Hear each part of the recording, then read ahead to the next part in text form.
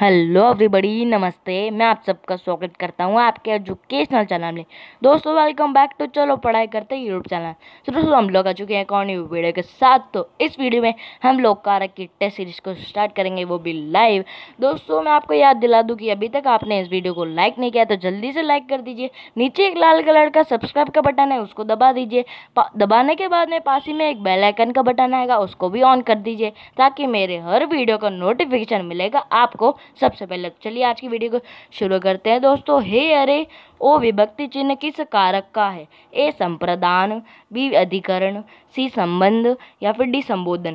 दोस्तों, अगर आप लोगों का आंसर संबोधन है तो बिल्कुल सही है। तो चलिए नेक्स्ट क्वेश्चन की तरफ़ बढ़ते हैं। दोस्तों, दूसरा प्रश्न है, संप्रदान कारक में को का प्रयोग किस अर्थ में होता है? के लिए बी पर सी की अपेक्षा डी से। दोस्तों, अगर आप लोगों का आंसर के लिए है तो बिल्कुल सही है। तो चलिए नेक्स्ट क्वेश्चन की तरफ़ बढ़ते हैं। दोस्तों, श्याम ने किताब पढ़ी। वाक्य में किस कारक का प्रयोग हुआ है? ए, कर्ता कारक का प्रयोग हुआ है, बी, कर्ण कारक का प्रयोग हुआ है, सी, अपादान कारक का प्रयोग हुआ है या फिर डी, संप्रदान कारक का प्रयोग हुआ है? दोस्तों, अगर आप लोगों का आंसर ए है तो वो बिल्कुल सही है। तो चलिए नेक्स्ट क्वेश्चन की तरफ़ बढ़ते हैं। दोस्तों वे उत्तम वे उत्तम संस्कारा, संस्कारों से हमें ढूंढ करेंगे वाक्य में किस कारक का प्रयोग हुआ है। ए करण कारक, बी अपादान कारक, सी संबोधन कारक, डी संप्रदान कारक। दोस्तों, अगर आप लोगों का आंसर करण कारक है तो बिल्कुल सही। तो चलिए नेक्स्ट क्वेश्चन की तरफ़ बढ़ते हैं। दोस्तों, वाक्य में विभक्ति के प्रयोग के अनुसार शब्दों को, शब्दों के परस्पर संबंध की दशा को कहते हैं ए लिंग, बी वचन, सी कारक या फिर डी उपसक दोस्तों, अगर आप लोगों का आंसर कारक है तो बिल्कुल सही चलिए नेक्स्ट क्वेश्चन की तरफ़ बढ़ते दोस्तों, वह धरती पर गिर पड़ा वाक्य में किस कारक का प्रयोग हुआ है? तो ए संप्रदान, बी अधिकरण, सी संबंध या फिर डी संबोधन। दोस्तों, अगर आप लोगों का आंसर अधिकरण है तो बिल्कुल सही चलिए नेक्स्ट क्वेश्चन की तरफ़ बढ़ते हैं। दोस्तों, वह अपने भाग्य को सराहता रहा। वाक्य में किस कारक का प्रयोग हुआ है? ए, संप्रदान, बी, अपादान, सी, संबंध, या फिर डी, कर्म कारक? दोस्तों, अगर आप लोगों का आंसर कर्म कारक है तो बिल्कुल सही है। तो चलिए नेक्स्ट क्वेश्चन की तरफ़ बढ़ते हैं दोस्तों। बच्चों पत पंक्ति में खड़े हो जाओ। वाक्य में किस कारक का प्रयोग हुआ है? ए, संप्रदान, बी, अधिकरण, सी, संबंध या फिर डी, संबोधन। दोस्तों, अगर आप लोगों का आंसर संबोधन है तो वो बिल्कुल सही है। तो चलिए नेक्स्ट क्वेश्चन की तरफ़ बढ़ते दोस्तों पेन टेबल पर रखा है वाक्य में कौन सा कारक है? ए, संप्रदान, बी, अधिकरण, सी, संबंध या फिर डी, संबोधन।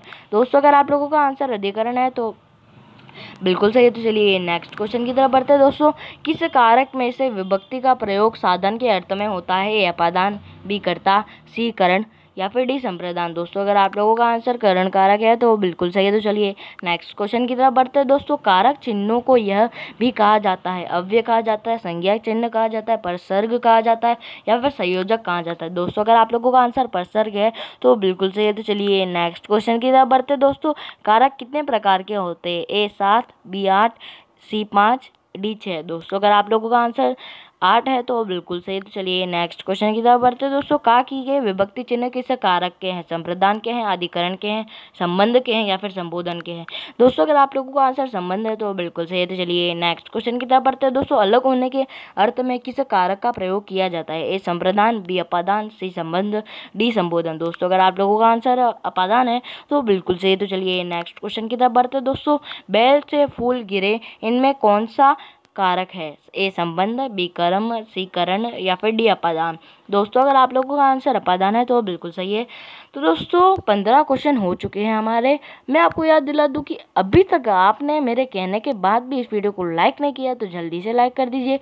नीचे एक लाल कलर का सब्सक्राइब का बटन है, उसको दबा दीजिए। दबाने के बाद में पास ही में एक बेल आइकन का बटन आएगा, उसको भी ऑन कर दीजिए ताकि मेरे हर वीडियो का नोटिफिकेशन मिलेगा आपको सबसे पहले।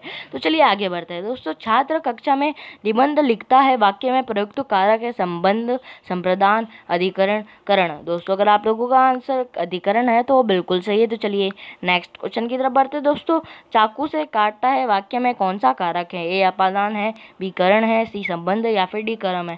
दोस्तों, अगर आप लोगों का आंसर करण है तो बिल्कुल सही तो चलिए नेक्स्ट क्वेश्चन की तरफ़ बढ़ते हैं। दोस्तों, वृक्ष से पत्ता गिरता है, वाक्य में कौन सा कारक है? ए, अधिकरण, बी, कर्म, सी, अपादान, डी, करण। दोस्तों, अगर आप लोगों का आंसर अपादान है तो बिल्कुल सही। तो चलिए नेक्स्ट क्वेश्चन की तरफ़ बढ़ते हैं। दोस्तों, वह का कारण, वह का कारण किस का कारण में एक वचन होगा, उसने, उससे मैंने मुझसे, दोस्तों, अगर आप लोगों का आंसर उससे है तो बिल्कुल सही। तो चलिए नेक्स्ट क्वेश्चन की तरफ़ बढ़ते दोस्तों, मैं का अपादान कारक में बहुवचन होगा, हमारा, हमसे, हम पर, हम मुझसे। दोस्तों, अगर आप लोगों का आंसर मुझसे है तो बिल्कुल सही। तो चलिए नेक्स्ट क्वेश्चन की तरफ़ बढ़ते हैं।